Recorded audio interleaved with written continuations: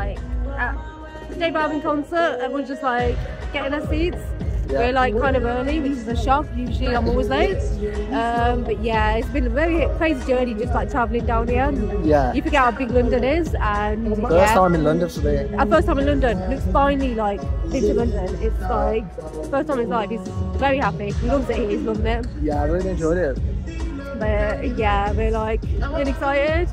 And yeah, it- about nine o'clock coming on stage. So there's a few acts before. There's two DJs and ooh, Somebody called Sophie Cos- Sophie, Bennett yes. Or something like that. yeah, yeah. So Yeah, it'd be meant, yeah, we were meant to like film earlier, but Yeah. all the travelling and stuff we didn't get a chance. We were just rushing. Yeah. So we're really excited, like, like well, when he comes on, and we've got pretty good seats as well. I'll try to turn the camera around. Shall I show it? Give it a try, I don't know if it'll work. Yeah. Give it a try.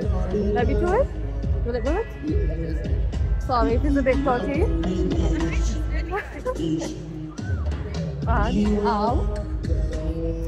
And oh my god.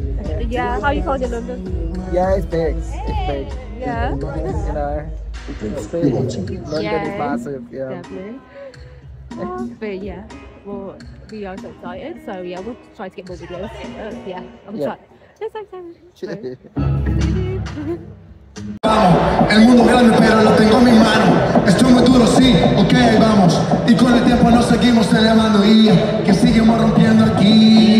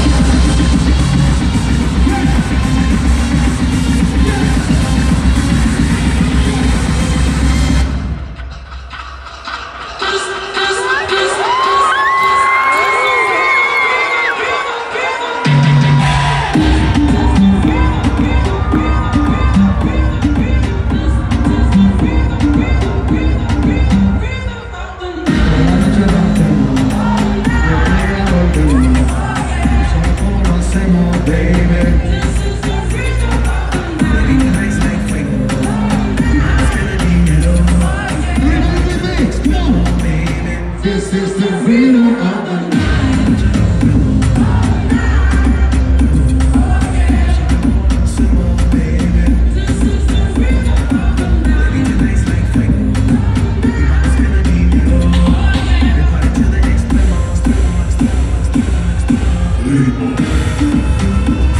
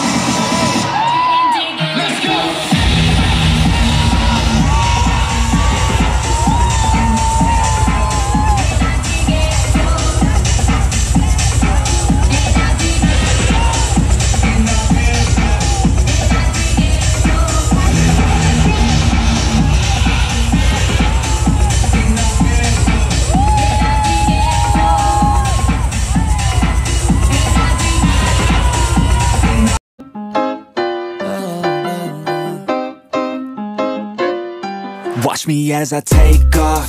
I'll be working until I have all of my days off. Then I'm surfing in California when I'm paid off. I'll be blurring my vision, sipping on that bass sauce.